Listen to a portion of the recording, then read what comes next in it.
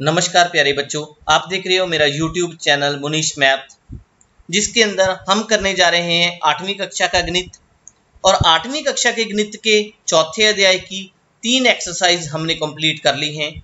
आज हम करने जा रहे हैं एक्सरसाइज 4.4 रचनाएँ की ये चैप्टर है। तो शुरू करते हैं।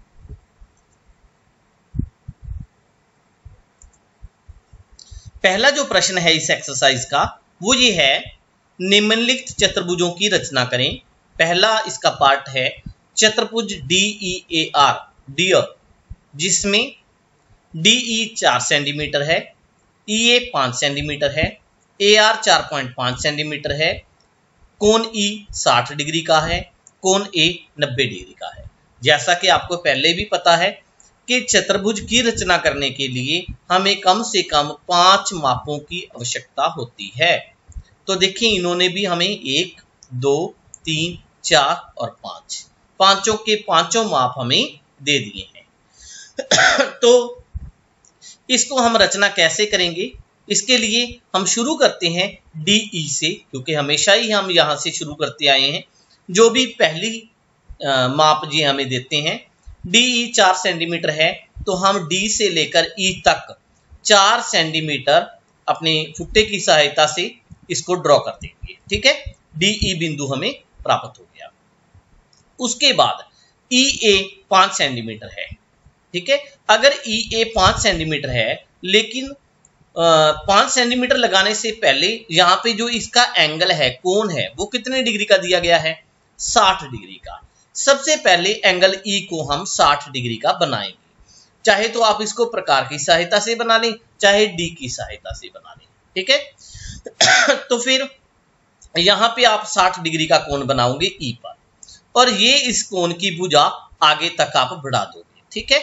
उसके बाद पाँच सेंटीमीटर प्रकार खोलकर ई e बिंदु को केंद्र मानकर एक चाप लगाओगे यहाँ पे, जो कोण वाली भुजा को ए बिंदु पर काटेगी। क्लियर तो हमें प्राप्त हो जाएगा ए ए कोण। क्लियर है ना? उसके बाद कोण ए कितने डिग्री का है? 90 डिग्री का है। तो हम ए बिंदु पर डी रख के 90 डिग्री का कोण बना देंगे इस तरह। क्लियर यहाँ पे हम 90 डिग्री का कोण बना देंगे। उसके बाद 4.5 सेंटीमीटर। इसने कहा है कि ए आर 4.5 सेंटीमीटर। देखो हमें इस साइड से तो दिया नहीं गया। ठीक है? डी से हम आ, कुछ भी नहीं लगा सकते क्योंकि डी से हमें कुछ भी माप नहीं दिया गया आर की तरफ़। ना कोई कोण दिया गया है ना ही इस भुजा की लंबाई दी गई है। तो हम क्या करेंगे? 90 डिग्री का कोण बनाने के बाद ए बिंदु को केंद्र मानकर 4.5 सेंटीमीटर प्रकार खोलकर यहाँ से चाप लगा देंगे जो इस 90 डिग्री वाले कोण की भुजा को आर बिंदु पर काटेंगे ठीक? फिर इस आर को हम डी से मिला देंगे तो हमारे पास ये चतुर्भुज कंप्लीट हो जाएगी। क्लियर है ना? बड़ा आसान प्रश्न है। थोड़ा सा ध्यान से देखें। डी ई से शुरू करना है। 60 डिग्री का कोण बनाना है। 60 डिग्री के कोण की भुजा जे वाली जा रही है। पाँच सेंटीमीटर प्रकार खोलनी है ई बिंदु पर रखनी है। फिर यहाँ पे काट देना है। इन्होंने काट नहीं रखा। तो ए बिंदु प्राप्त हो गया। अब ए पर 90 डिग्री का कोण आपको पता है 4.5 सेंटीमीटर ए बिंदु को केंद्र मानकर आपने चाप लगा देनी है तो आर बिंदु पता चल जाएगा। आर डी को मिला देना है। तो ये प्रश्न था आपका पहला प्रश्न। उसके बाद प्रश्न नंबर दो। दूसरे प्रश्न के अंदर अगर हम देखें तो चतुर्भुज T R U E true, जिसमें टी आर तीन पॉइंट पाँच सेंटीमीटर है आरज़ू तीन सेंटीमीटर है यूई चार सेंटीमीटर है कोण आर पचहत्तर डिग्री का है कोण यू 120 डिग्री का है। इसको हमने बनाना है। तो कैसे बनाएँगे? वही पहले की तरह हम टी आर से शुरू करते हैं। टी आर कितनी ले ली? यहाँ पे देखें, तीन पॉइंट पाँच सेंटीमीटर ले ली। क्लियर है?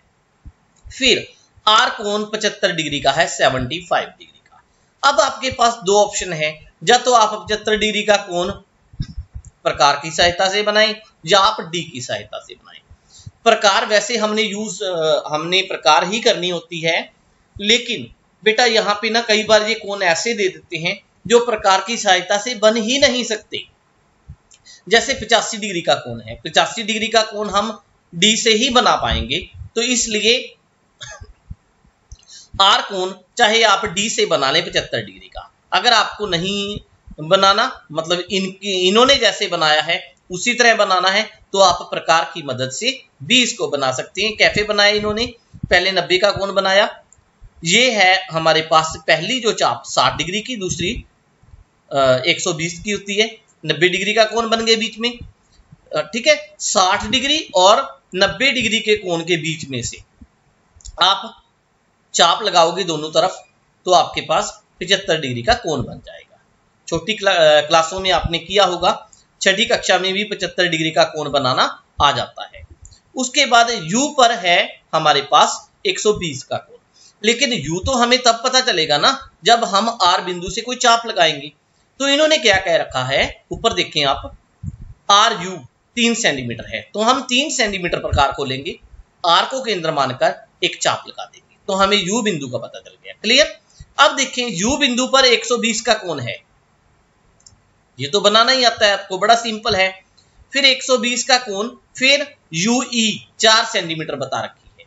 यू को केंद्र मानकर, ठीक है, चार सेंटीमीटर पर हम एक चाप लगाएँगे, जो 120 वाले कोण की जो हमने भुजा बनाई है, ठीक है, इसको ई बिंदु पर काट देंगे। फिर ई को टी के साथ मिला देंगे तो हमारे पास अबीश चतुर्भुज बन जाएगी।